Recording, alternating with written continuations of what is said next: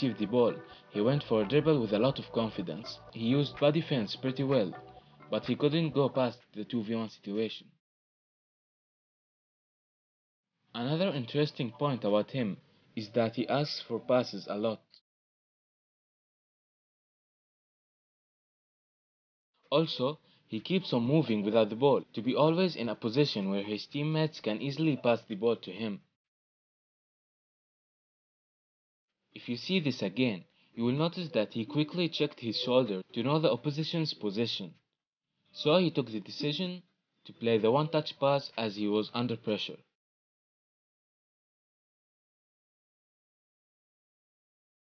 Finally, his good positioning and off-the-ball movement pays off as he intercepts the ball in this position and moves forward.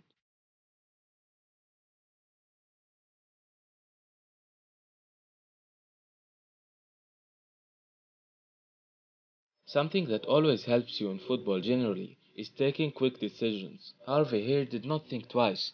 He had a look on the goal and decided to shoot.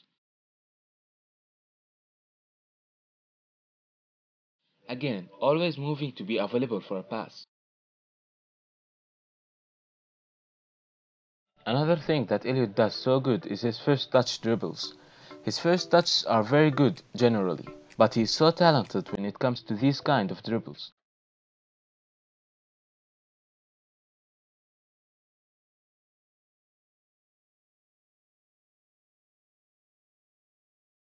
Klopp played him in all forward positions in this match.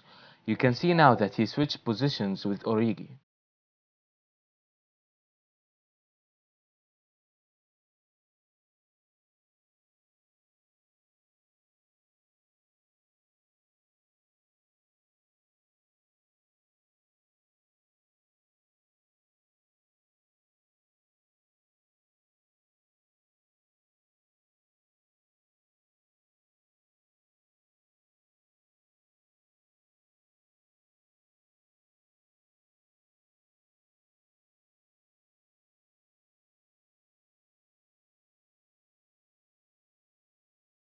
Here also he tried to play a 1-2 pass with Henderson, but the link was not made.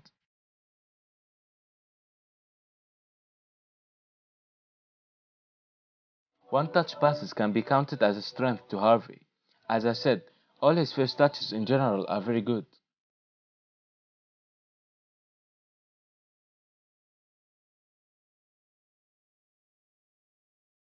He did a really good job on the left side in this counter-attack and at the end, he tried to play a one-touch volley pass to Origi, but he failed to do so.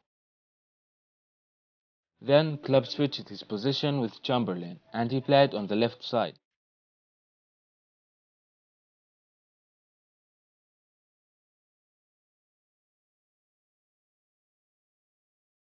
Here's what I said at the beginning of the video. He takes his full time on the ball, and does not rush the passes, which allows him to make good decisions.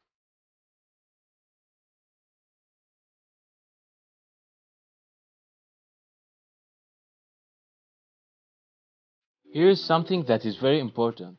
Notice how his teammates help him to get more confidence by giving him a lot of time on the ball and playing these easy passes to him.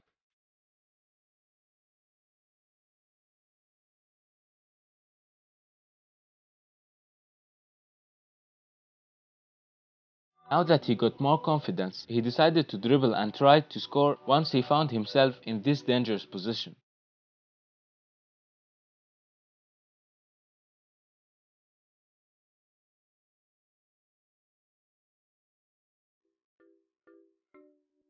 As you just saw here, he did this amazing first touch dribble, but he got fouled.